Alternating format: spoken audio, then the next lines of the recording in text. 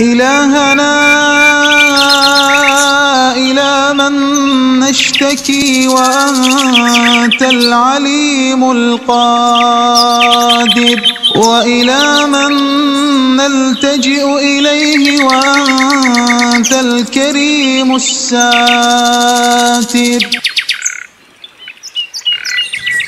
Dinde aşırılık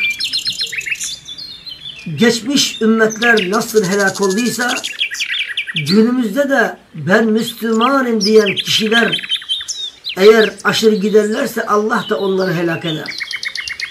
Hatta Allah'ın Resulü sallallahu aleyhi ve sellem El-gulû fid-din ehleke men kâne kablekum diyor ya, uyarıyor ya. İşte dinde aşırı giderler sizden öncekiler helak oldukları gibi ey ümmetim eğer siz de aşırı giderseniz siz de helak olursunuz. Ne demek yani aşırı gitmek? Yani metkun vasat. Vasat olacaksın. Kema emaraka rabbuka ve ahbaraka nebiyyuka sallallahu aleyhi ve sellem. Kardeşler ha, ölümler ard arda geliyor. Ölümler ard arda geliyor. Yarın Rabbinin huzuruna gittiğin zaman eğer İslam dininde aşırı gitmişsen ya Allah Tebareke ve Teala seni orada affetmezse halin ne olacak? Çünkü el-gılû din dinde aşırı gidenler helak oldular. Ne demek yani? Yani şu demektir. Yapacağın ibadeti mutlaka Allah'ın ve Resulünün kitabına paralellik arz eden konulara değinmen gerekiyor. Yani kema emaraka rabbuka ve ahbaraka nebiyyuka sallallahu aleyhi ve sellemin çizgisinde olacaksın. Kur'an'da varsa var. Sünnette varsa var. Amenna ve saddakna. Ama gel ne delil ne bir şey kalkıp Yüce Allah'ın dinine heva ve hevesine ne gibi geliyorsa oraya aktarıp da bu şekilde Allah'a kulluk edersen vallahi Rabbim Tebareke ve Teala bu ibadetleri senden kabul etmiyor. Sana düşen görev nedir? Harfiyen Allah'ın emretmiş olduğu gibi ve Resulullah Aleyhisselatü Vesselam'ın göstermiş olduğu şekilde yapmandır. Zaten bütün musibetler, belalar bundan çıkmıyor mu? Herkes Allah'ın emretmiş olduğu şekilde yaşasa bu musibetler, ızdıraplar, çileler olur mu? Olmaz. Herkes bir şey uyduruyor. Oysa dünyada bugün varız, yarın yokuz. Ve yapmış olduğumuzun bu ameller veyahut da bu fiiller nedir? Allah katında bir bir yazılıdır. Kelamuna mektub ve amelena mahsub ve nahnu gaden emamallahi matlubin. Sarf edilmiş olan ne gibi sözler zerreden kübraya, ağaçtan semaya ne gibi küçük ya da büyük ne gibi sözler varsa hepsi yazılıdır.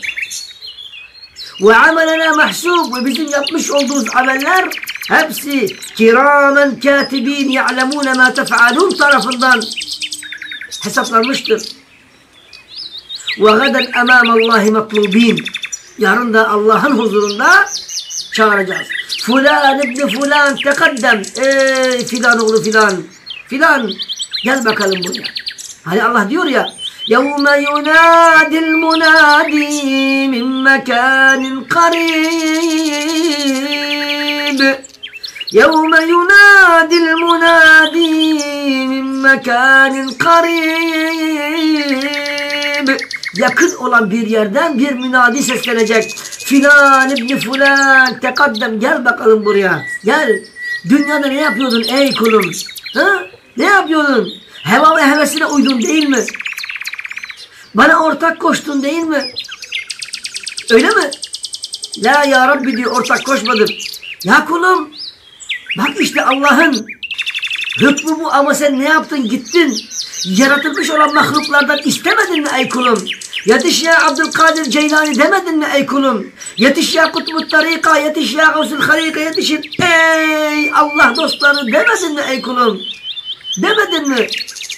La ya Rabbi diyor, la ya Rabbi demedin. Yükezzib Rabbuhu Tebareke ve Teala. Aman ya Rabbi. Rabbini yalanlıyor.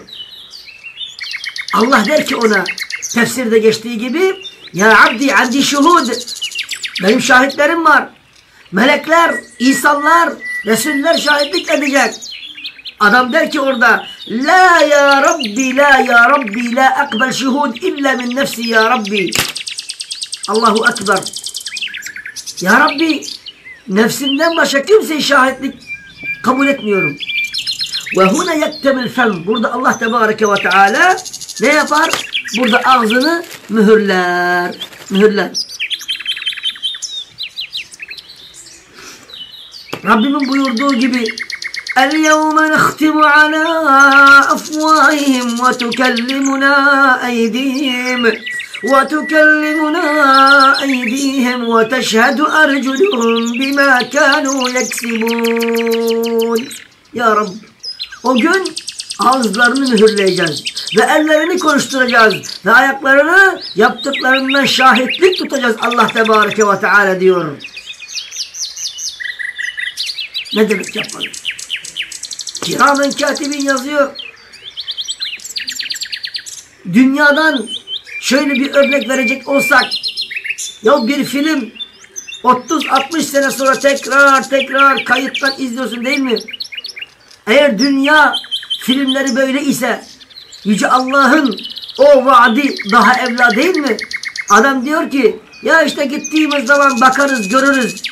Şansa bırakıyor. Bu şansa bırakır mı? Bu iman söz meseledir. Gaybi söz meseledir. Yarın orada yanacaksın. Yarın orada ağlayacaksın Müslüman. Dön Allah'a. Deme benim günahlarım var. Deme benim dağlar kadar günahlarım var.